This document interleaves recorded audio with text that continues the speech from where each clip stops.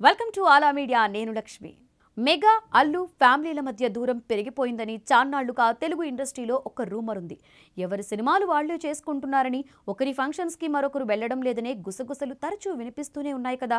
రెండు మూడు సార్లు మెగా ఫ్యామిలీని అల్లు అర్జున్ తక్కువ చేసి మాట్లాడాడు అంటూ మెగా అభిమానులు కాస్త గుర్రుగా కూడా ఉన్నారు. అందుకే ఇరు కుటుంబాల మధ్య అస్సలు పడడం లేదన్న మాటలు తరచూ బయటకు వస్తుంటాయి. అయితే అవేమీ నిజం కాదని తెలుస్తోంది. ఇరు కుటుంబాలు కలిసి ఉన్నాయని చెప్పేటువంటి సంఘటన ఒకటి ఇప్పుడు జరగబోతుంది.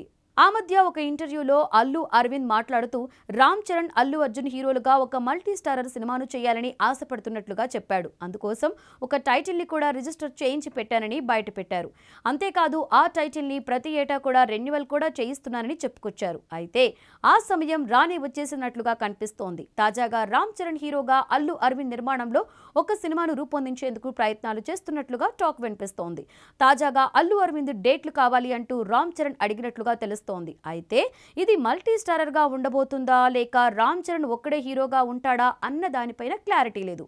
మరొక వైపు ట్రిబుల్ ఆర్ గ్రాండ్ విక్టరీతో రామ్ చరణ్ ఫుల్ బిజీగా మారాడు. ప్రస్తుతం శంకర్ డైరెక్షన్లో ఆర్సీ ఫిఫ్టీన్ సినిమా చేస్తుండగా అది కంప్లీట్ కావడానికి చాలా సమయమే పట్టేనుంది.